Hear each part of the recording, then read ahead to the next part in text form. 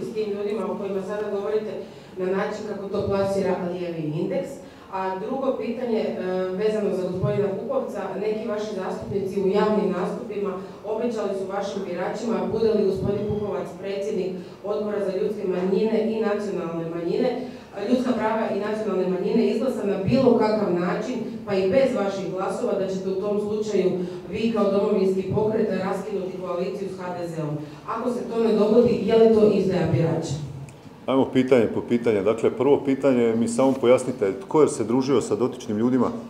Ne, pitanje je da li ste se vi ikada družili sa ljudima za koje ste rekli da je gospodin Bartulica došao u stožer? Znači, nikad u životu se družio sa dotičnim ljudima. Nisam na nikakvim eventima, ja tim ljudima ne znam imena i prezimena, nemam ih u imeniku, apsolutno, dakle, e, s nekima od njih sam se pozdravio i to već u dvorani, kad su ljudi došli, ali, dakle, ja dan danas ne znam imena, prezimena tih ljudi, e, njihov background sam doznao evo sinoć, tako da apsolutno je to za mene nešto novo, kao vjerujem i za većinu nas.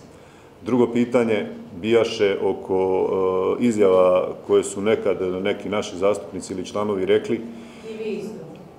Što sam rekao? I vi ste isto rekli u Dnevniku Nove TV da ukoliko dođe da gospodin Pupovac bude predsjednik odbora, da ćete onda raskinuti koaliciju. Uvažavam, neću reći da nisam, moguće i da jesam, e, međutim stavio sam vam jasno na stol e, što je u pitanju. Dakle, ukoliko će domovinski pokret, ukoliko će, ću ja, Ivan Penava, nakon proteka ovog mandata imati iza sebe kao rezultat našeg rada micanje spomenika Vukašinu Šuškočaninu iz Borova sela i niz takvih, onda je to to.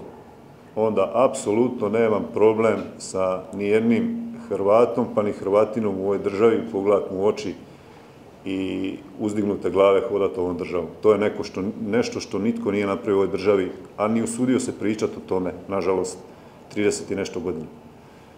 A kad to sve govorim i kad kažem imam e, ljude poput e, gospodina Josića i Mlinarića za sebe sa svojim backgroundom, onda vjerujem da malo je tih koji mogu nešto pričati, rekao sam o domovinskom ratu i o Srbima i Četnicima, doista malo, malo je takvih.